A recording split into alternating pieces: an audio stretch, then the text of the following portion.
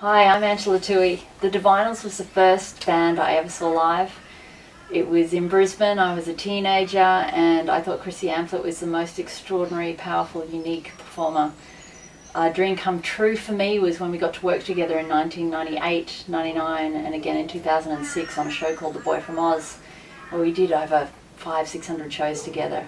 Um, she played Judy Garland, I played Liza Minnelli, mother and daughter relationship, so my nickname for her was Mama.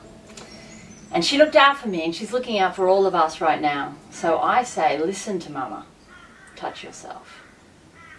Often.